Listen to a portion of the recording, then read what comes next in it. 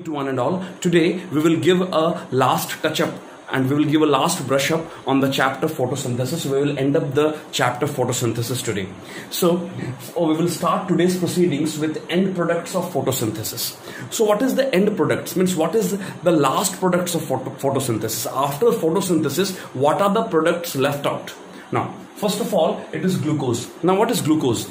The glucose is the starch molecules produced by the process of photosynthesis which is utilized by the plant and if not utilized it will be stored. It will be stored in the plants. Now in what form we are taking that? Like let's say the apple tree is there. The apple tree is producing apple. Now how the apple has come and or how the apple is having that sweet taste? Because of the presence of glucose. Any fruit tree any fruit tree producing fruit and having that high glucose concentration will give you a sweet taste and that glucose is coming from the process of photosynthesis. The starch which is not utilized will be stored in the plant and the starch which is utilized the moment it is produced those plant those starch the moment it is utilized the plant will make it as a form of fruit. Those starch we can found we can find it in the form of fruit means if at all we are taking let's say apple tree or mango tree and uh, those ripe fruits are very much sweet. Why? Because of the presence of glucose in it. Now non-fruit trees the trees those who are the trees which is not producing any kind of fruits those trees will manufacture less amount of starch only for the tissues and the tree to withstand so that the food should not be short. The shortage of food shouldn't be there. Now Next is water. Whatever the water is produced, whatever the water is produced, that water will be again used in the next part of photosynthesis or else in the next cycle of the photosynthesis. So whatever the water is produced, that water will be utilized properly. Next one is oxygen. Of course, the main byproduct of the photosynthesis is oxygen. So what happens here? The moment the oxygen is produced, the oxygen will be released in air and the other biotic components like animal, the animal life will utilize that oxygen for their respiration and breathing purposes. Now, so these three are the main byproducts or main end products of the process of photosynthesis. Glucose utilized by the plant for its growth for making of, of fruits to make the fruit much sweeter. Water again utilized by the plant for the further process of photosynthesis. Oxygen byproduct released in the environment so that the animal life could sustain their life in the earth. Now, significance of photosynthesis. What is its importance? The importance of photosynthesis is uh, almost we can say a life needing process a life a process which is maintaining the life or a or our life is maintained by the process of photosynthesis how photosynthesis is said to be as food for all. Food for all. Why? Because we know plants are only the autotrophs which can produce their own food. If there is no plants no food. No proper food then the herbivores carnivores they cannot sustain. Only plants can prepare its own food other organisms cannot prepare their own food. They can only make their food tastier like we human beings. We are taking the food from outside and we are cooking it. And we are fine we are saying that okay we have made the food. No. The main autotrophs main producers are plants only. So plant will make the food and that food will be utilized by the other organisms. Now so significance of photosynthesis it is providing food for all. Providing oxygen of course, oxygen is a byproduct, and that oxygen is sustaining the animal life, providing food, making their own food, and giving it to herbivores or the carnivores. Now, herbivores, carnivores, and omnivores all are directly or indirectly related to the plant for their food. They cannot prepare their own food. Only plant can prepare their food. So these two are the main important point apart from that the plant is giving us through the by the help of photosynthesis. If photosynthesis will happen the plant will grow. Plant will grow as a tree it will give fruit vegetables to us. That we are directly using it consuming it. So that is the reason why it's a very important process. That is what the significance of photosynthesis. Now adaptations in leaf for photosynthesis. What is adaptations? How the leaves are designed so that they can receive maximum amount of sunlight. That is called as adaptations for example, the leaf are very much broad. So if leaf are broad, it's having a high surface area. more surface area or highly surface area, it will receive more and more sunlight. More and more sunlight, automatically more food will be produced by the help of photosynthesis because sunlight is one of the requirement for the process of photosynthesis to sustain. Apart from that, whenever we are talking about the leaf adaptation, we must also see the thinness of the leaf. If the leaves are very much thin, then photosynthesis will be higher. And if the leaf is having thick cuticle, then it will not allow more water to transpire, but the photosynthesis rate will be moderate, average, neither very low nor very high. This is how the leaves are adapted. So the anatomy of leaf is a very important factor. Anatomy of leaf means how the leaf is distributed in the plant. What is the structure of the leaf? How the leaves look like? Whether it is broad or thin or thick. It is highly depending upon the anatomy of leaf. If the anatomy of leaf is, if the leaf is broad or if the anatomy of leaf says the leaf is broad, the leaf is thin, then photosynthesis will be higher. And if the anatomy of leaf says no, the leaf is very much thick, and it is not broad also it is having a less surface area. Then the photosynthesis rate will be less. So this is what the about the adaptations. Now next. Factors affecting photosynthesis. Factors affecting photosynthesis. So here there are two kinds of factors.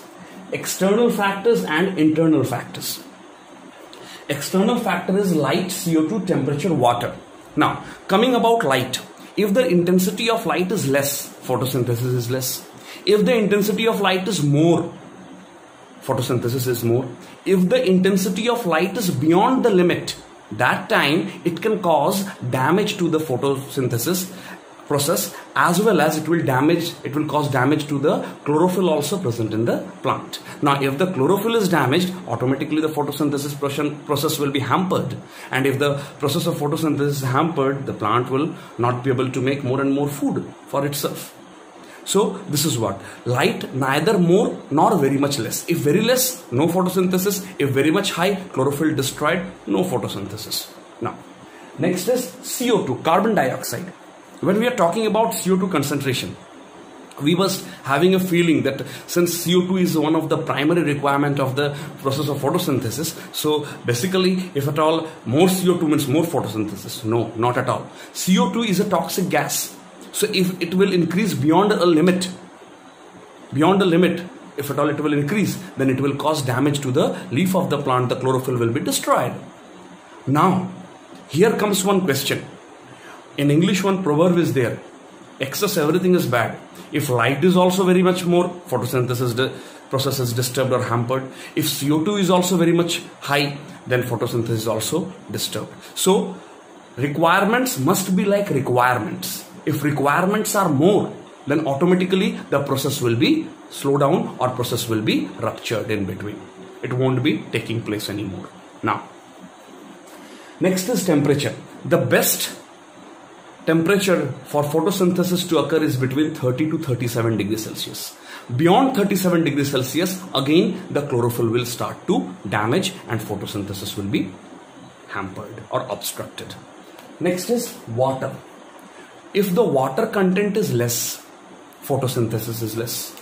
If the water content is more, photosynthesis is more. Now, if the water content is very much high, then plant will just store the water and in one side the plant will play a role for storing the water. On the other hand the plant will play a role so that the water could be utilized for the process of photosynthesis. Means if the water is more than excess more than needed then automatically that that part of water will be stored and only few part of the water will be utilized for the process. I think you have understood this. Now internal factors talking about internal factors.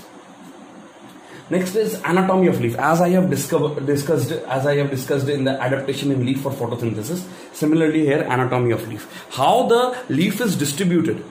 What is the conditions of the leaf? Is the leaf tender one or young one or old one? That is also matters.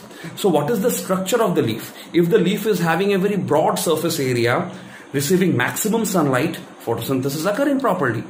Leaf is having a small surface area, not receiving proper sunlight, automatically the photosynthesis obstructed. So this is what is about the anatomy of leaf. Amount of chlorophyll, of course. If a leaf let's say let's talk about a leaf that leaf is not having a proper amount of chlorophyll or else the chlorophyll is there but it has converted its shape due to its change in the orientation the chlorophyll has changed either into xanthophyll or the chlorophyll has changed either into xanthophyll A or xanthophyll B. That time the photosynthesis will be obstructed. You can find the big tree is there. Some trees are having yellowish leaves. The same tree a very big tree tree is there, a very big tree is there. The tree is having yellowish leaf. Few leaves are yellow few leaves are green the leaves which are yellowish in color they are having the xanthophyll pigment. Those leaves will never go for photosynthesis or else if they are going also very less amount. And after certain period of time that leaves will be detached from the plant and it will fall on the ground. That's over means that leaf is dead now when we are talking about the green leaves, the green leaves do contain chlorophyll and they are well enough to absorb the sun rays, lights of the sunlight as well as it can go for the process of photosynthesis. So similarly what happened, if the amount of chlorophyll is proper then the things the process will be going on. And if the amount of chlorophyll is not there in a proper amount that leaf will not show photosynthesis. Now so hope you can understand this. Now last one is age of leaf. Of course the tender leaf very thin. Photosynthesis very high. A young leaf thick one. Since the leaf is quite thick sunlight may not penetrate properly. Photosynthesis is quite less than the younger leaves. Old leaves has converted chlorophyll into xanthophyll yellowish in color almost negligible rate of photosynthesis or very less rate of photosynthesis. So i hope you can understand. Now next is the carbon cycle so carbon cycle, talking about carbon cycle is one of the most important part of the photosynthesis. Why? What is a cycle? Cycle means maintenance of something which we are taking from the nature and giving it back to the nature. Maintenance of certain thing which we are taking from the nature and after certain time we are giving it back to the nature. That is what carbon cycle. That is what cycle means. The word cycle means taking it taking it again returning it back. Again taking it again returning like water cycle. The formation of clouds how it takes place. Sun sun rays fallen on the water the water evaporates goes up forms cloud rain again water. So a cycle is maintained. Okay, so a cycle is maintained. Similarly how much carbon the living organisms are taking and how much carbon we are liberating so that the cycle could be in a balanced way. That is known as carbon cycle. How much carbon we are taking and how much carbon we are delivering. Now to understand carbon cycle two points we need to follow. Fixing of atmospheric carbon and return of fixed fixed carbon into atmosphere. Fixing of atmospheric carbon contains topic like photosynthesis carbon in animals fossil fuel lime rocks. Fixing of atmospheric carbon means how the carbon from environment comes to the living organism for example, the process of photosynthesis, plant is absorbing CO2, convert it into, into food. For example, carbon in animals, each and every living organisms is made up of carbon. Even in human beings, animals, plants, you can plant body, you can find carbon. Fossil fuels, of course, coal, petrol, and all. How the fossil fuel forms? When the living organisms, after decaying, and going under the earth going below the earth due to extra pressure it converts it they convert itself into fossil fuels into coal and petroleum. So this fossil fuels and lime rocks. Lime rocks need to under, we need to understand about lime rocks. What is this lime rocks? Under the ocean when we are finding the carbon dioxide rich water under the ocean we can find a level of water is there which is rich in carbon dioxide. Those water settle down itself into the ocean. And finally they are absorbing carbon from outside also and they are converting themselves into lime rocks. The process what i have said it is looking very easy but it is containing chain of reactions to follow it. Chain of reactions. Those carbon dioxide content water or carbon dioxide rich water find itself very much comfortable in the bed of the rock. And being carbon dioxide rich it will again absorb some amount of carbon dioxide from the environment and it will convert itself into lime rocks. So these are all the process. Photosynthesis carbon in animals fossil fuel lime rocks. These are all the process that how we have gathered the carbon dioxide or carbon in any form from environment to the organism. Now when we are talking about return of fixed carbon into atmosphere, how the carbon from the living organism has been returned into environment, in the atmosphere. Respiration, of course. In respiration, what happens? The food burns to provide energy. Food burns in the presence of oxygen and liberates CO2. CO2 dissipates in the environment. Combustion, of course, combustion takes place in the form in the presence of oxygen and what is it what is it liberating what it is liberating co2 so co2 again liberated into the atmosphere decomposition what is decomposition when the living organisms they die. Small small microorganism they feeds upon. And the carbon what is liberated will be again delivered into the atmosphere or environment. Food chain what happens in food chain? We know plants are the producers. Herbivores eat plants.